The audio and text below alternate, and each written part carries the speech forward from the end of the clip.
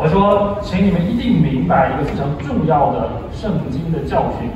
就是我们来不是为教会